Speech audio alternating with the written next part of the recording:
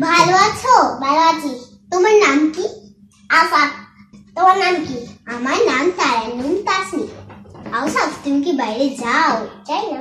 একদম যাবে না। এখন সারা দেশে করোনা ভাইরাস ছড়িয়ে পড়ছে সেজন্য কোনো সময় বাইরে যাবে না। ঠিক আছে?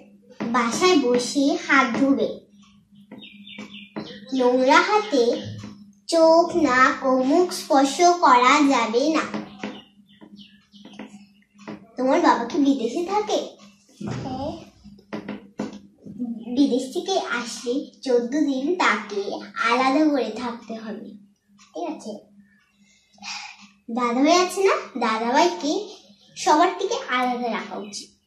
আর বাইরে কখনো খেলবে না। বাসায় বসেই খেলতে হবে তোমাকে। ঠিক আছে? বুঝছ? হ্যাঁ।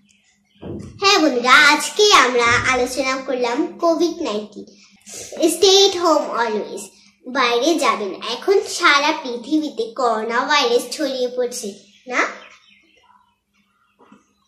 সেই জন্য বাসায় বসেই খেলাধুলা করবে। বাইরে কোনো সময় খেলাধুলা করা যাবে না।